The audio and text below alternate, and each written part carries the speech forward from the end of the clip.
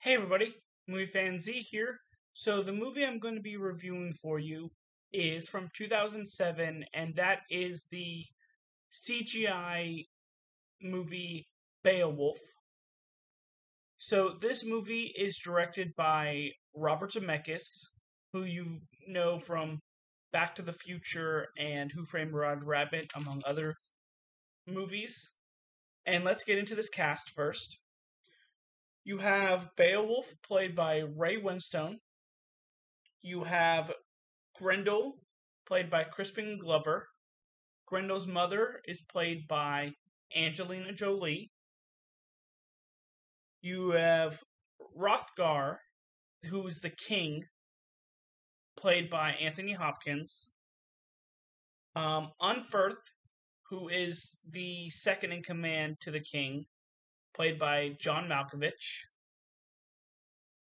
You have Withrow, might be saying that wrong, played by Robin Wright, who is the love. Well, it's kind of the love interest of Beowulf, but also is the queen. And you finally have Wiglaf, who is the second hand to Beowulf, played by Brendan Gleeson. So this oh, and this movie takes place in 507 AD in Denmark, and it's basically the story of Beowulf from literature. He comes in because the monster Grendel is a terrorizing this village, and he proclaims that he's going to be one to kill Grendel and then also has interactions with Grendel's mother. So let's get into thumbs up and thumbs down. The thumbs down, we're going to start with that, is the the first not not the first, sorry. There's 20 to 30 minutes in the middle of the movie, and I know that's a lot of time, that it was kind of lackluster and weak.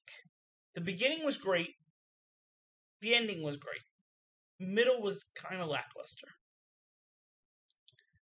But let's get to the positive. I liked the characters that you meet.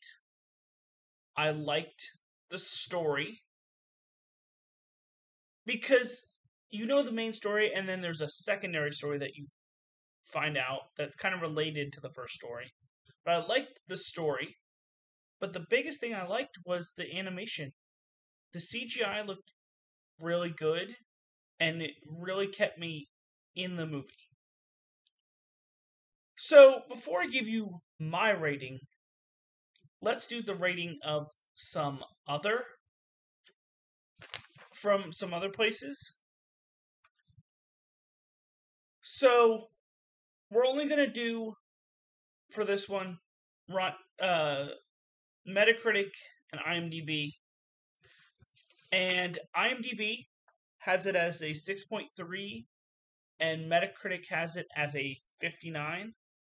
And to me, I actually think those scores are too low based on my rating, which is a 4 out of 5.